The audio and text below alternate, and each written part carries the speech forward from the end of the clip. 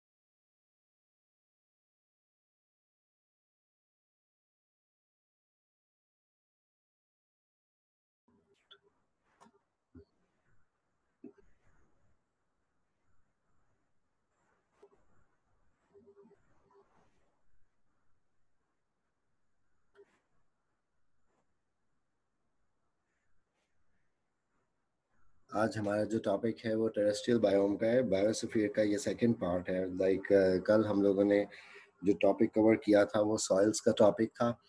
और uh, अब जो टॉपिक हमने कवर करना है वो टेरेस्ट्रियल बायोम्स का टॉपिक है। और बेसिकली टेरेस्ट्रियल बायोम्स और इकोसिस्टम्स और क्लाइमेट टाइप्स जो है वो काफ़ी हद तक कॉन्सेप्ट वाइज जो हैं वो काफ़ी हद तक ओवरलैप करते हैं। टेरेस्ट्रियल बायोम्स या टेरेस्ट्रियल इकोसिस्टम्स ऑलमोस्ट सेम आपको हेडर्स मिलेंगे डिस्ट्रीब्यूशन मिलेगी। इकोसिस्टम में हम देखते हैं कि उसकी जो सब डिवीजन्स हैं, उसमें एक्वाटिक इकोसिस्टम्स भी हैं, उसमें आप ए बायोटिक और बायोटिक कंपोनेंट्स जो एनवायरनमेंट के हैं, जैसे कि ए बायोटिक कंपोनेंट्स में हम देखते हैं कि जी, उसमें हाइड्रोस्फेयर या वाटर का स्फीयर भी शामिल है, उसमें लिथोस्फेयर या लैंड भी शामिल है। एटमोसफेयर का इन्फ्लुएंस भी है सनलाइट जो है, वो एक एनर्जी के तौर पे इनिशिएट होती है और फिर प्रोड्यूसर्स या प्लांट्स जो हैं वो उसको फ़ूड में कन्वर्ट करते हैं और आगे फिर बायोटिक एलिमेंट्स ऑफ़ एनवायरनमेंट यानी लिविंग थिंग्स का जो है वो आपस में लिंकेजेस इस्टेब्लिश हो जाते हैं थ्रू फ़ूड चेन कि जिसमें प्लांट्स एज प्रोड्यूसर्स जो है वो पहले फ़ूड प्रोड्यूस करेंगे और उसके बाद हेट्रोट्रॉफ्स यानी कि ऐसे जानवर जो दूसरों के ऊपर डिपेंडेंट है फॉर देयर फ़ूड वो उसके उसके ऊपर डिपेंड करते हैं, जिसमें एनर्जी जो है वो फ़ूड की that is transferred into other organisms heterotrophs में हम देखते हैं कि वेजिटेशन कंज्यूमर भी हैं, जिसको आप हर्बीवोर्स का नाम देते हैं। फिर उन्हीं के ऊपर डिपेंड करने वाले कार्निवोर्स भी हैं और कुछ ऐसे हैं जो कि हर्ब्स भी कंज्यूम करते हैं और मीट ईटिंग या फ्लैश ईटिंग भी हैं। जिनको हम ओमनीवोर्स कहते हैं।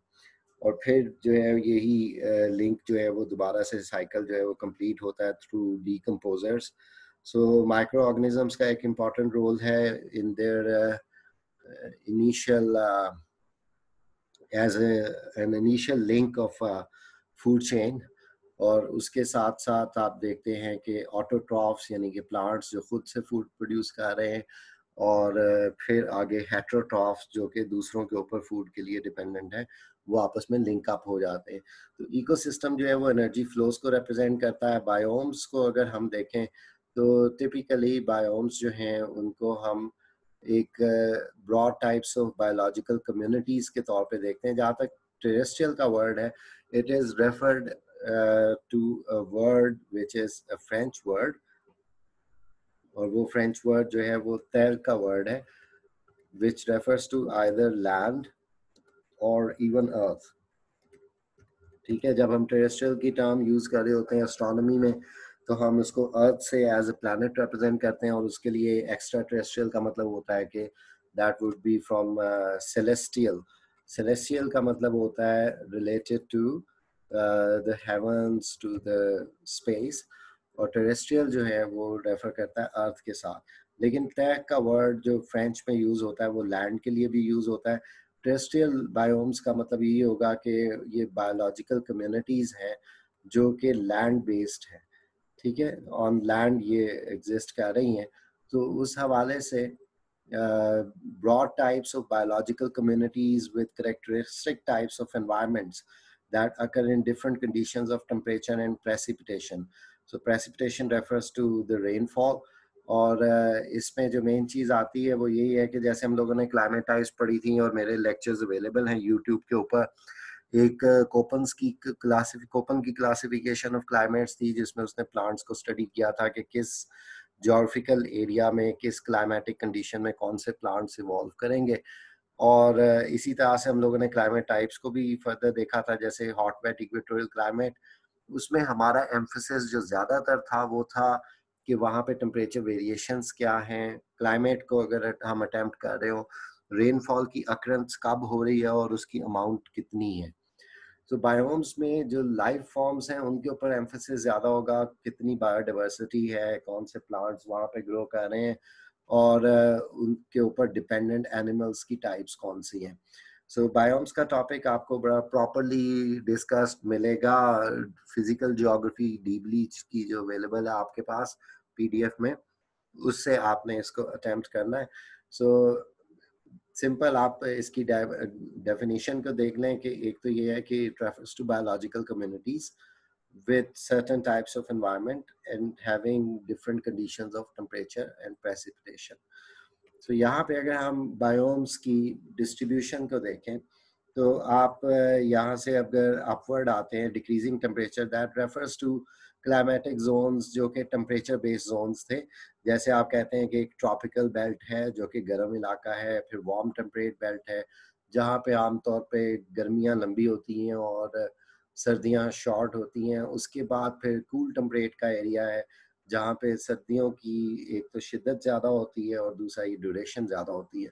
और फिर टुंड्रा का या आर्कटिक का इलाका है जो कि बहुत ज़्यादा शदीद सर्द इलाका है और परमा फ्रॉस्ट का रीजन भी इसको कहा जाता है यानी यहाँ पे परमानेंटली जो है वो स्नो कवर मिलेगा या आइस शीट्स मिलेंगी। सो so, आप इसको इस तरह से डिवाइड कर सकते हैं कि like it is tropical then temperate then subarctic which also refers to subpolar region polar areas के करीब है and then arctic, which is closest to the pole, or rather it is the polar area. दूसरी तरफ़, अगर हम यहाँ पे इस ग्राफ पे देखें तो यहाँ पे डिक्रीजिंग मॉइस्चर लिखा हुआ है, और वेट टू ड्राई कंडीशंस जो है, वो आप ऑब्ज़र्व कर सकते हैं। और इस हवाले से अगर हम सिंपल बात करें कि जैसे हॉट वेट इक्वेटोरियल क्लाइमेट हमने पढ़ी थी तो ये हॉट और वेट ये एरिया ओवरलैप कर रहा है। यहाँ पे जो क्लाइमेटिक कंडीशंस हैं, वो बहुत फेवरेबल हैं for rich biodiversity rain forest जो है, वो बहुत ज़्यादा रेजिलियंट और बहुत ज़्यादा कम्प्लेक्स किस्म का बायोम कंसिडर किया जाता है। रेजिलियंट इस सेंस में कि इसमें फ़ूड चेन नहीं होगी, इसमें फ़ूड वेब होगा। लाइक के मल्टीपल टाइप की वेजिटेशन है और फिर उसके ऊपर डिपेंडेंट मल्टीपल टाइप के हेट्रोट्रॉफ्स हैं। और अगर एक स्पीशी जो है वो इफ़ेक्ट हो भी जाती है तो दूसरी स्पीशीज जो है वो उस लिंक को ब्रेक नहीं होने देती। लेकिन अगर वही बात अगर हम आर्कटिक टाइप या डेजर्ट टाइप बायोम में देखें तो वहाँ पे आपको बायोडाइवर्सिटी कम मिलेगी। लिमिटेड वेजिटेशन उसके ऊपर लिमिटेड नंबर ऑफ़ हेट्रोट्रॉफ्स यानी कि कंज्यूमर्स जो हैं वो बहुत लिमिटेड नंबर में होंगे और उनकी वैरायटी नहीं होगी। सो so, इनको हम नाम देते हैं फ्रेजाइल इकोसिस्टम्स या फ्रेजाइल बायोम्स के अगर एक लिंक या एक मतलब हर्बीवोर की स्पीशी भी एक्सटेंट हो जाती है या कोई कार्निवोर वहाँ से एक्सटेंट हो जाता है तो उस सूरत में पूरे का पूरा इकोसिस्टम पूरे का पूरा बायोम जो है वो इफ़ेक्ट हो सकता है। ठीक है? उसके लिए वो डैमेजिंग हो सकता है। सो रेन फॉरेस्ट है, वो बहुत रिच किस्म की आपको इकोसिस्टम का बायोम के तौर पे मिलेगा। इसमें आपको अगर बायोडाइवर्सिटी की प्लांट्स के हवाले से बात की जाए तो तकरीबन एक एकड़ में 40 टाइप की आपको स्पीशीज जो है, वो ट्रीज की मिलेंगी। दूसरी बात यह है कि ये एवरग्रीन है, ये एवरग्रीन होने की बेसिक वजह यह है कि यहाँ पे हीट और energy throughout the year इनको रिसीव हो रही है और उसके साथ साथ रेनफॉल भी है, जो कि पानी की रिक्वायरमेंट जो प्लांट्स की है, उसको फुलफिल कर रही होती है। रेन फॉरेस्ट से आगे आप देखेंगे ग्रासलैंड शुरू हो जाएँगी, इसको ट्रॉपिकल सवाना कहा जाता है। यहाँ पे गर्मियों के मौसम में बारिश होती है। यहाँ पे जो आपको ट्रीज मिलेंगे, वो ज़्यादातर मिलेंगे जिनको अकेसिया कहा जाता है, कीकर के दरख्त हैं। टॉल ग्रासेस मिलेंगी और उसके जैसे फिर आप डेजर्ट को देखते हैं। सो so, ये तीन जो डिवीजन्स हैं ये तो अफ्रीका को अगर आप फॉलो कर रहे हो मैप अभी मैं आपको शो कर देता हूँ। तो उस हवाले से यहाँ पे इसको हम मतलब फिर उसी तरह से एलेबोरेट कर सकते हैं कि एक तो टेम्परेचर डिक्रीज हो रही है from equatorial region to polar region temperature change की वजह से कुछ मॉडिफिकेशन आएँगी क्लाइमेटिक कंडीशंस डिफर कर रही हैं। और दूसरा यहाँ पे वेट टू ड्राई कंडीशंस हम ऑब्ज़र्व कर रहे हैं उसमें रेन फॉरेस्ट है, उसमें सवाना है फिर डेजर्ट है, ठीक है? और यहाँ पे आप tropical rain forest seasonal rain forest भी ऑब्ज़र्व कर सकते हैं, जैसे मानसून का है, जो कि डिसीडुअस टाइप का होता है, क्योंकि यहाँ पे गर्मियों के मौसम में एनर्जी मिल रही होती है, साथ बारिश मिल रही होती है मानसून की, लेकिन सर्दियों का मौसम जो है वो खुश्क होता है और उसके साथ साथ एनर्जी भी कम मिलती है। सो अकॉर्डिंगली प्लांट्स जो है वो उस तरह ग्रो नहीं कर रहे होते रादर वो अपने लीव्स को शेड कर रहे होते हैं during the winter seasons so उस हवाले से सीजनल फॉरेस्ट भी है। उसके बाद अगर यहाँ पे हम ऑब्ज़र्व करें टेम्परेट बेल्ट में तो इधर आपको एवरग्रीन टाइप का फॉरेस्ट भी मिलेगा। जैसे कि आपको इंग्लैंड में और वेस्टर्न यूरोप की तरफ़ ज़्यादा बारिशों का इलाका है, वहाँ पे आपको एवरग्रीन फॉरेस्ट ब्रॉड लीफ भी मिलता है। और फिर आगे उसी तरह से जहाँ पे बारिश कम होगी सीजनल होगी, वहाँ पे डिसीडस फॉरेस्ट होगा और फिर चैपरल या श्रब टाइप और श्रब के आगे ग्रास लैंड लेकिन यहाँ पे जो ग्रास लैंड है, वो टॉल ग्रासेस की ग्रास लैंड नहीं है। इसको प्रेरीज कहा जाता है नॉर्थ अमेरिका में स्टेप्स कहा जाता है इसको रशिया में और उसके अलावा इसको आप अगर अर्जेंटीना और साउथ अमेरिका में देखें तो वहाँ पे इन ग्रास को जो है, वो पम्पास का नाम दिया जाता है। ठीक है, इसी तरह से कुछ टेम्परेट डेजर्ट्स भी हैं, लेकिन डेजर्ट्स टॉपिकल हो, टेम्परेट हो, ड्राइनेस इंपॉर्टेंट है, उसके लिए ज़ीरो फिटिक कंडीशन है। ज़ीरो फिटिक कंडीशन का मतलब ये होता है कि पानी पौधों को अवेलेबल नहीं होता। आमतौर पे ये पौधे जो हैं, ये कैक्टस टाइप होंगे, जो कि जिनके अंदर पल्प होगा पल्प जो है वो बेसिकली वाटर को वाटर की डिटेंशन है in the body of the plant और वेलवेटी स्किन आपको मिलेगी कि वेपरेशन जो है यहाँ से कम से कम हो सके प्लांट बॉडी से। और ये डीप रूटेड प्लांट्स होंगे कि ये मॉइस्चर को जो है वो डीप डाउन द अर्थ जो है वो वहाँ से रिट्रीव कर रहे होते हैं। इसके बाद जो सब पोलर रीजन आप देख रहे हैं, यहाँ पे कॉनिफरस फॉरेस्ट है पाइन है, चीर है, ठीक है? और ये आपको नॉर्दर्न एरियाज़ ऑफ़ पाकिस्तान में भी मिल जाएगा। लाइक एल्टीट्यूड के साथ भी हाइट हाइट के साथ भी टेम्परेचर डिक्रीज होना होता है तो एल्टीट्यूड वाइज भी आपको फॉरेस्ट की डिवीज़न मिलती है। सो कॉनिफरस फॉरेस्ट जो है, इसको टेगा कहा जाता है और यहाँ पे विंटर सीज़न ज़रा ज़्यादा एक्सटेंसिव होता है स्नो कवर्ड भी रहते हैं। तो यहाँ के जो प्लांट्स हैं या जो ट्रीज हैं, उनके नीडल लाइक आपको जो है वो लीव्स मिलेंगे। कि कम से कम स्नो जो है वो उनके ऊपर एक्यूमुलेट हो सके। जबकि रेन फॉरेस्ट में आप देखेंगे यहाँ पे broad leaf basically trees honge and they would have larger canopy, they would have extensive canopy कि वो sunlight को ज़्यादा से ज़्यादा absorb कर सकें, receive कर सकें। Broad leaves जो है वो ज़्यादा से ज़्यादा energy trap करके food produce करवा सकें। ठीक है, इसके बाद अगर हम टॉप पे आ जाएँ पोलर रीजन की तरफ़ आ जाएँ तो वहाँ पे आपको टुंड्रा बायोम मिलेगा। टुंड्रा बेसिकली एक रशियन वर्ड है विच रेफर्स टू बार्ल्ड इसको हम आर्कटिक भी कह सकते हैं लाइक आर्कटिक इकोसिस्टम या आर्कटिक बायोम भी कह सकते हैं। टुंड्रा बायोम भी कहा जाता है। और टुंड्रा में बेसिकली बार्ड इसको इसलिए कहा जाता है कि यहाँ पे आपको ऐसा उस तरह का वेजिटेटिव कवर नहीं मिलेगा।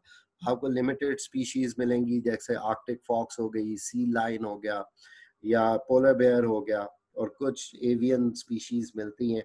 और रेंडियर्स वगैरह रादर वो आपको यहाँ पे कॉनिफरस फॉरेस्ट और टुंड्रा में ओवरलैप करते हुए नज़र आते हैं। सो so, इन बायोम्स को अगर हम ग्लोबल uh, डिस्ट्रीब्यूशन इनकी देखें तो ये कलर्स जो हैं वो उनकी लोकेशंस को रेफर कर रहे हैं।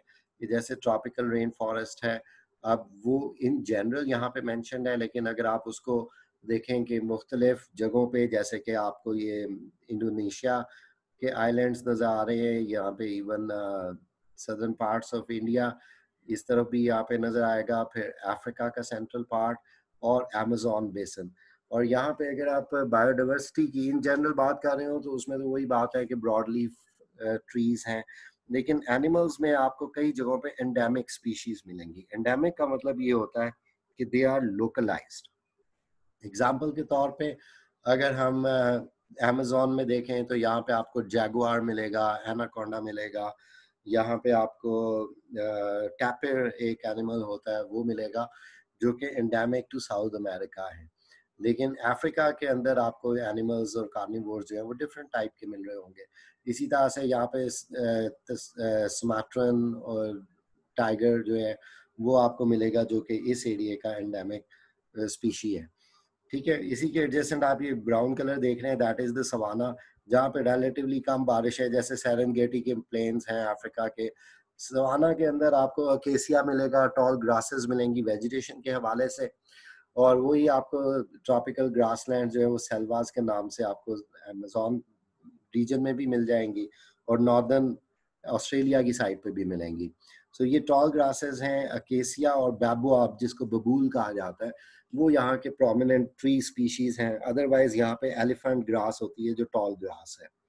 ठीक है अगर आप अफ्रीकन सेरेंगेटी और मसाई मारा का एरिया देखते हैं तो यहाँ पे आपको ज़्यादातर जो एनिमल्स मिलेंगे जो आप लोग जिस तरह नेट जियो पे देख रहे होते हैं या नेट जियो वाइल्ड पे देख रहे होते हैं कि आपको लाइन मिलेगा चीता है अफ्रीकन लेपर्ड है उसके अलावा जैकल की फैमिली है मतलब डॉग कैनाइन फैमिली है, जिसमें हाइना और जैकल वगैरह आपको नज़र आ जाते हैं। फिर आपको मुख्तलिफ़ हर्बी वोर जैसे विल्डर बीस्ट है, जैसे जीब्राज हैं, वो यहाँ के एंडेमिक स्पीशीज़ के तौर पे आपको नज़र आएँगे। ठीक है तो बायोम को यहाँ पे फिर रीडिफाइन किया जा रहा है। It is the collection of ecosystems sharing similar climatic conditions so so, यही क्लाइमेटिक बेल्ट्स में हमने पढ़ा था हॉट वेट इक्वेटोरियल क्लाइमेट तो वो इंडोनेशिया में भी थी वो अफ्रीका के सेंट्रल पार्ट में भी थी वो अमेजोन में भी थी। सो कंडीशंस टेम्परेचर और रेनफॉल की एक जैसी हैं। अकॉर्डिंगली जो लाइफ इवॉल्व हो रही है वो भी ऑलमोस्ट एक जैसी है। सो so, यहाँ पे हम इसका एक मतलब रिलेटिविटी डेवलप कर सकते हैं। जैसे आप देख लें कि ट्रॉपिकल रेन फॉरेस्ट है it is located near the equator hot all the year round उसके अलावा बारिश जो है वो ऑल द ईयर होती है। इसमें न्यूट्रिएंट सॉइल की अगर बात की जाए तो जैसे हम लोगों ने कल भी स्टडी किया था न्यूट्रिएंट पुअर सॉइल है। बेसिक बात है, बारिशें इतनी ज़्यादा हैं कि लीचिंग का प्रोसेस होता है। जो टॉप सॉइल होती है या जो टॉप लेयर ऑफ़ सॉइल होती है, उसमें से जो न्यूट्रिएंट्स हैं, जो प्लांट्स को चाहिए, वो सारे के सारे जो हैं वो अंडरग्राउंड चले जाते हैं डेप्थ में चले जाते हैं। इस प्रोसेस को नाम दिया जाता है लीचिंग का। सो so, लीचिंग का वो प्रोसेस है कि जिसमें न्यूट्रिएंट जो है वो टॉप सॉइल से रिमूव होके सब सॉइल में चले जाते हैं। इसलिए जो ग्रासेस वगैरह हैं जिनकी शैलो रूट्स होती हैं वो इस जगह पे ग्रो नहीं कर पाती। सो so, इस हवाले से यहाँ पे आपको टॉल ट्रीज मिलेंगे। और अगर आपको मुख्तलिफ़ किस्म की वाइन्स और क्रीपर्स मिलेंगी तो वो ज़्यादातर जो होंगी, वो पैरासाइटिक होंगी they would depend upon the tall trees और ट्रीज की अगर स्ट्रक्चर की बात की जाए तो जैसे हमने बात की है कि they would have larger canopy ठीक है जी, एक तो उनकी कैनपी ब्रॉड होगी दे वुड बी टॉल यहाँ पे 300 फीट प्लस ट्रीज आपको मिलेंगे and they would have buttress roots buttress root का मतलब ये होता है कि roots are extended outward to support the tree तो टॉल ट्रीज को सपोर्ट करने के लिए जो है वो इनका स्ट्रक्चर आपको ऐसा मिलेगा। ग्राउंड लेवल के ऊपर वेजिटेशन कुछ हद तक पैरासाइटिक होगी, कुछ जो है वो कार्निवोरस होगी। जैसे पिचर प्लांट है, जो इंसेक्टिवोर प्लांट है। ठीक है जी? यहाँ पे प्लांट्स की बात उसने की है, उसने मेंशन किया है greatest diversity of any biomes vines हैं ऑर्चर्ड्स हैं फर्न्स हैं and wide variety of trees ज़्यादातर आपको जो ट्रीज मिलेंगे, जो गर्म इलाके में मिलेंगे, वो हार्डवुड ट्रीज होते हैं ग्रेनी वुड होती है, उसमें आप अगर इम्पोर्टेंट नाम सुनेंगे तो उसमें महागनी है, उसमें इबोनी है, जो दो मेजर वुड टाइप्स हैं, जो कि कमर्शियल वैल्यू भी रखती हैं। उसके बाद नेक्स्ट अगर हम देखते हैं तो यहाँ पे वैरायटी ऑफ़ एनिमल्स डिस्कस्ड है। More species of insects reptiles amphibians than any other place जैसे कहा कि ये रिजिलियंट है, जैसे कहा कि बायोडाइवर्सिटी रिच है and other small and large animals अब चूँकि यहाँ पे ट्री जो है वो अबंडेंस में है तो ज़्यादातर लाइफ जो है वो आर्बोरियल है। आर्बोरियल का मतलब है that lives on the trees so even the word arboreal is actually derived from a French word arbor, which means uh, tree. So arboreal ka matlab hota hai related to tree.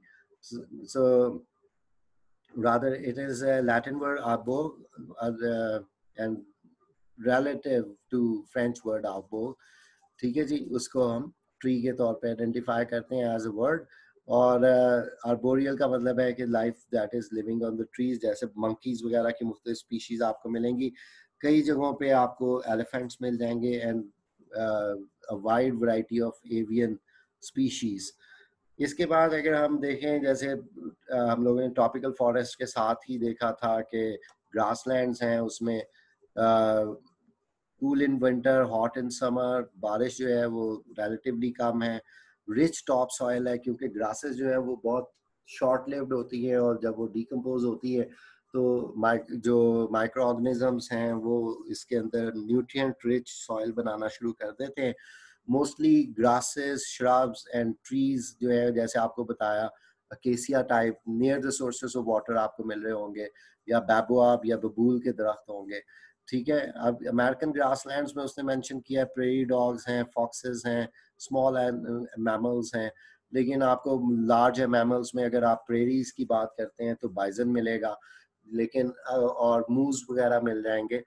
लेकिन अगर आप देखते हैं African grassland को जिसको हम tropical grassland कहते हैं तो वहाँ पे जैसे ज़िक्र किया कि उसमें आपको एलिफेंट्स हैं, उसमें जिराफ्स हैं, उसमें जीब्रास हैं, उसमें विल्डर बीस हैं एंड सो ऑन वहाँ पे अफ्रीकन ग्रासलैंड्स में आपको बहुत बड़ी वैरायटी जो है, वो हर्बीवोर्स और कार्निवोर्स की मिलती है।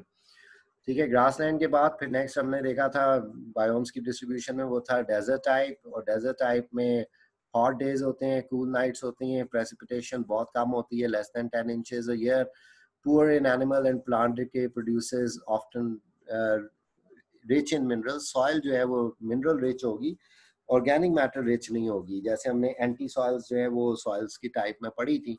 सो so, यहाँ पे आपको कैक्टाइस यूकास और श्रब्स मिलेंगे थॉनी फॉरेस्ट टाइप मिलेगा। आमतौर पे आपको रोडेंट स्नेक और लिजर्ट्स मिलेंगी टोटोइस मिलेगा।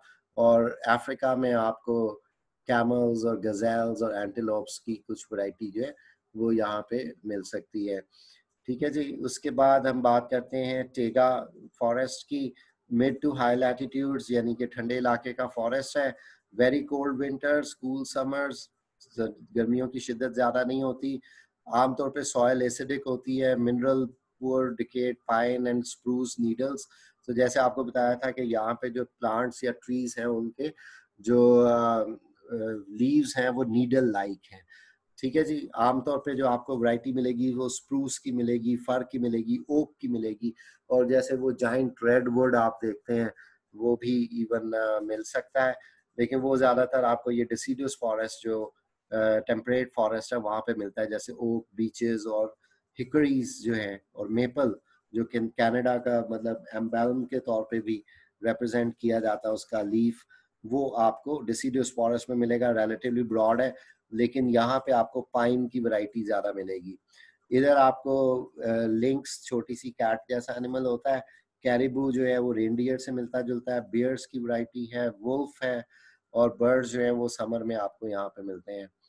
ठीक है जी, इसके बाद आते हैं हम टुंड्रा की तरफ़। टुंड्रा जो है वो एक्सट्रीमली कोल्ड नॉर्दर्न लैटिट्यूड्स हैं very cold harsh and long winters short cool summers और समर का टेम्परेचर आप देख रहे हैं ten to twenty five degree centigrade है। प्रेसिपिटेशन जो होती है, यानी रेनफॉल जो है, वो भी सॉलिड फॉर्म में है। दैट मीन्स कि यहाँ पे स्नोफॉल हो रही होती है। परमा फ्रॉस्ट का रीजन हम इसको कहते हैं। न्यूट्रिएंट पुअर सॉइल है। Permafrost layer few inches down यानी कि अगर मॉइस्चर सॉइल के अंदर भी है तो वो भी फ्रोजन है। आमतौर पे ग्रासेस वगैरह जो हैं, वो शॉर्ट समर में यहाँ पे ग्रो कर जाती हैं, जिसमें मॉसेस भी शामिल होते हैं। और आमतौर पे आपको यहाँ पे जो माइग्रेशन मिलेगी कि समर्स के दौर में जो है वो मुख्तलिफ़ एनिमल्स यहाँ पे आ जाते हैं, जिस तरह से मस्क ऑक्सन है माइग्रेटिंग कैरिबू है रोडेंट्स की कुछ वराइटी है। लेकिन यहाँ पे आपको जो इधर की एंडेमिक स्पीशीज मिलेंगी, वो आपको मिलेंगी जिस तरह से आर्कटिक फॉक्स हो गई, जिस तरह से सी लाइन और वॉलरसेस हो गए और पोलर बेयर हो गए। ठीक है तो दिस इज़ द ओवरव्यू के जो की पॉइंट्स हैं मल्टीपल बायोम्स के, वो आप इस टेबल में देख सकते हैं। उसके बाद अब जैसे visual like you can have visual experience के, ये रेन फॉरेस्ट है, जो कि टॉल ट्रीज हैं सनलाइट जो है वो नीचे नहीं आ रही, जिसकी वजह से अंडर ग्रोथ उतनी थिक नहीं होगी श्रब्स और ग्रासेस इतना ग्रो नहीं कर सकेंगी वाइन्स होंगी जो कि राइज कर रही होंगी विद द ट्रीज और इधर अगर हम वैरायटी ऑफ़ एनिमल्स देखें तो जैसे मैंने आपको कहा था स्मार्टन टाइगर जो है वो जावा और स्मार्टा की तरफ़ है। ब्लैक पैंथर जो है ये साउथ अमेरिका में मिलता है एनाकोंडा साउथ अमेरिका में मिलता है।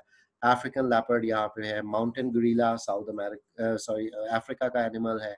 अफ्रीकन फॉरेस्ट एनिमल एक अलहदा स्पीशी है। ठीक है जी?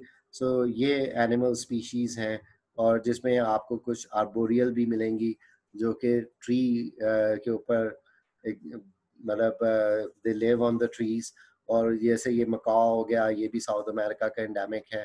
ठीक है जी सॉल्ट वाटर क्रैक क्रोकोडाइल ये आपको नॉर्थ ऑफ़ ऑस्ट्रेलिया जो है जहाँ पे ऑस्ट्रेलिया का मार्जिन बनता है टूवर्ड्स इक्वेटोरियल फॉरेस्ट रीजन वहाँ पे ये नज़र आते हैं। ठीक है, इसी तरह से सवाना अब ये आपको जो ट्री नज़र आ रहा है that is actually the acacia tree आप देख रहे हैं लिमिटेड स्पोरेडिक ट्रीज की आपको डिस्ट्रीब्यूशन नज़र आ रही है। वेल लेकिन दे हैव टॉल ग्रासेस और सवाना के अंदर आपको ये वैरायटी मिलती है। ये ग्रासलैंड के एनिमल्स हैं और उसमें आप जैसे अगर अफ्रीकन सवाना को देखें तो ग्रासलैंड के एनिमल्स में आपको अफ्रीका में मिलने वाले जो एंडेमिक होंगे वो लायन है हाइना है चीता है, लेकिन यहाँ पे Asiatic lion Asiatic striped hyena और चीता एशियाटिक जो है वो इंडो पाकिस्तान के एरिया में भी ग्रासलैंड एरियाज़ में मिल जाता है। इसी तरह से राइनो है अफ्रीका में वाइट राइनो और ब्लैक राइनो की दो स्पीशीज थी, लेकिन स्मॉटन राइनो भी है, उसके अलावा इंडियन या एशियाटिक राइनो भी है। ठीक है जी kangaroo is endemic to Australia ठीक है, उसके बाद, अगर हम ऑस्ट्रिचेस की बात करें इंडेमिक टू अफ्रीका और टाइगर की बात करते हैं तो वो बंगाल और इंडोनेशिया तक जो है, उसकी डिस्ट्रीब्यूशन हमें नज़र आती है। जीब्रा जो है, वो ग्रासलैंड का एनिमल है and that is related to savanna in Africa और उसके बाद अगर हम बाइजन की बात करें तो ये प्रेरीज या नॉर्थ अमेरिका के जो ग्रास लैंड है, वहाँ का एंडेमिक एनिमल है।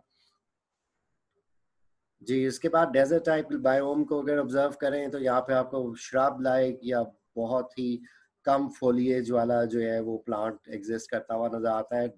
डेफिशिएंसी है पानी की मॉइस्चर आपको सॉइल में बिल्कुल नहीं मिलेगा और एक्सट्रीम टेम्परेचर कंडीशंस मिलेंगी very high temperature in day time and very low temperature at the night time so desert animals में आप देख लें, जैसे कि कैमल की स्पीशीज हैं प्रोंग हॉर्न्स हैं फिर वही बात है कि सवाना के साथ क्योंकि ये एडजेसेंट है तो कुछ सवाना के एनिमल्स जो है वो भी यहाँ पे जो है वो ओवरलैप करते हैं, जिसमें फॉक्सेस भी आ जाती हैं। लेकिन ज़्यादातर आपको रेपेटाइल्स मिलते हैं स्नेक की मुख्त स्पीशीज़ मिलती हैं, या आपको लिजर्ड्स की स्पीशीज़ जो है वो डेजर्ट में ज़्यादा मिलती हैं। ठीक है कोयोटी जो है ये बेसिकली आपको नॉर्थ अमेरिका का एंडामिक मिलेगा। It is more like wolf but less smaller than a wolf ये आपको नॉर्थ अमेरिका के डेजर्ट टाइप एरियाज़ में और ग्रास लैंड में मिलता है। टेम्परेट फॉरेस्ट, जैसे ओक वगैरह की बात की थी और स्प्रूस की बात की थी।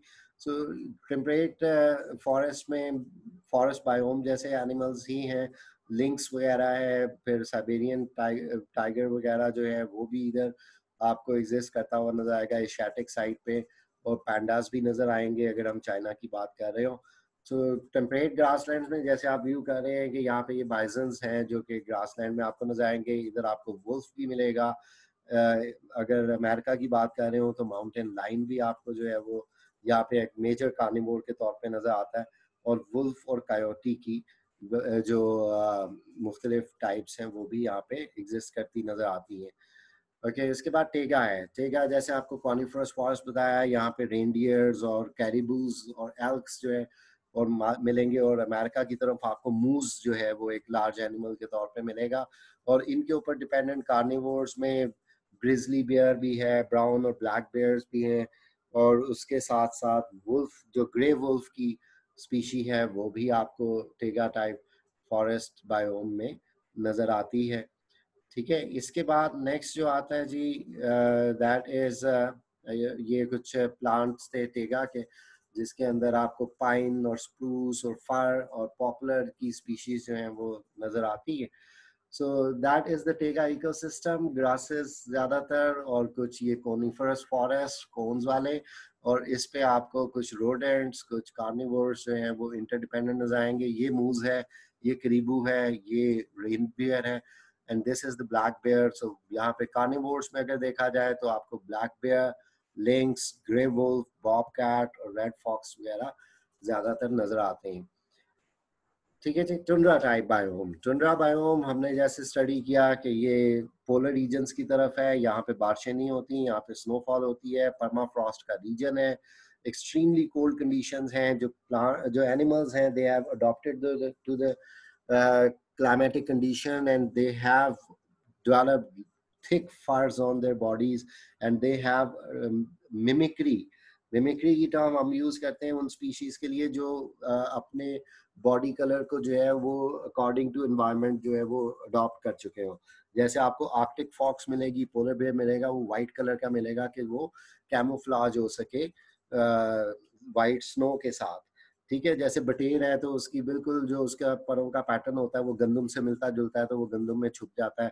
या हमारे यहाँ जो ग्रीन पैराकीट होता है या जो सब्ज तोता होता है, वो पत्तों में बैठा हुआ नज़र नहीं आता। तो इस चीज़ को नाम दिया जाता है मिमिक्री का। ठीक है, जो वर्ड है दैट इज़ मिमिक्री मिमिक करने से। ठीक है जी? ओके okay, यहाँ पे आपको टुंड्रा की स्पीशीज नज़र आ रही हैं। उसमें यॉक अगर अल्पाइन टुंडा की बात करें हम नॉर्दर्न पाकिस्तान की बात करें हिमालयाज की रीजन की तरफ़ बात करें तो यहाँ पे आपको यॉक भी मिलेगा यहाँ पे आपको स्नो लेपर्ड भी मिलेगा।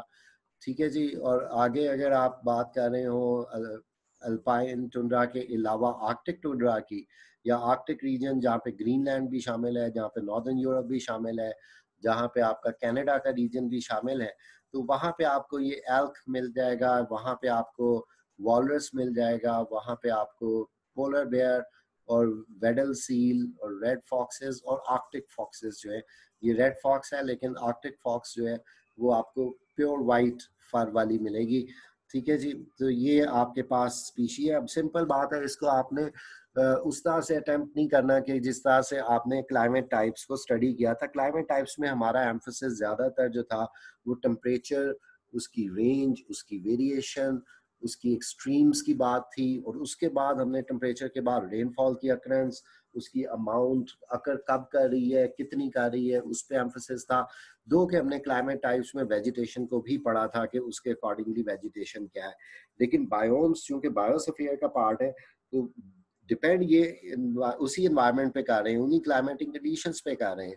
यानी टेम्परेचर भी इनके लिए क्रिटिकल रोल प्ले करता है और प्रेसिपिटेशन या रेनफॉल भी इनके लिए क्रिटिकल है।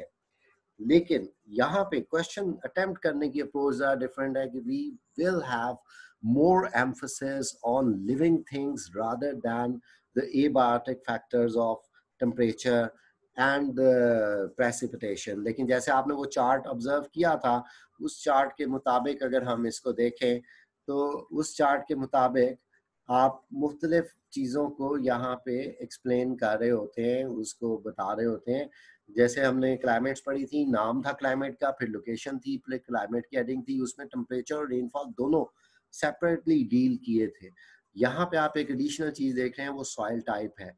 कि according to these climatic conditions जो इंटरडिपेंडेंसीज हैं एनिमल्स की या प्लांट्स की विद क्लाइमेटिक फैक्टर्स उन्हीं के ऊपर डिपेंड करते हुए वहाँ की सॉइल ने जो है वो इवॉल्व होना है। और सॉइल के ऊपर ही डिपेंड करते हुए प्लांट्स अल्टीमेटली उसके मुताबिक ग्रो कर रहे होते हैं और जैसी प्लांट टाइप्स होती हैं, उनके ऊपर डिपेंडेंट हर्बीवोर्स या जिनको हम और हेट्रोट्रॉफ्स कहते हैं, वो भी उसके मुताबिक इवॉल्व हुए होते हैं, उसके मुताबिक अडॉप्ट करते हैं अपने आप को, ठीक है? So that is the topic of biomes और अगर आपको इसमें कोई क्वेश्चन है तो we have two minutes and you can mute unmute yourself और क्वेश्चन आप पूछ सकते हैं।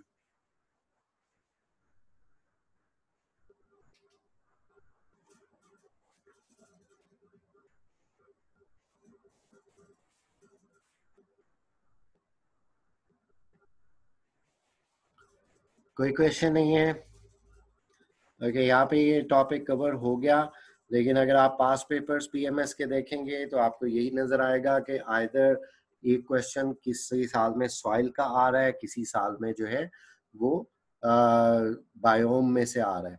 और कुछ साल ऐसे भी हैं कि जिसमें ये टॉपिक जो है दोनों टॉपिक सेम पेपर के अंदर आए होते हैं। और एक साल में आपको पीएमएस वालों का ये ब्लेंडर भी नज़र आएगा कि उन्होंने एक ही पेपर में इकोसिस्टम का क्वेश्चन भी दिया है और बायोम का क्वेश्चन भी दिया है। आपने यहाँ पे ऑब्ज़र्व कर लिया कि यही हेडर्स हैं जो टेरेस्ट्रियल इकोसिस्टम्स के हैं और वही हेडर्स जो हैं बायोम के भी हैं। ठीक है जी? सो so, यहाँ पे अब हम मीटिंग कंक्लूड करते हैं। कुछ देर के बाद यही टॉप यही लेक्चर जो है वो यूट्यूब पे मेरे चैनल पे अवेलेबल होगा। आप इसको वहाँ पे भी एक्सेस कर सकते हैं।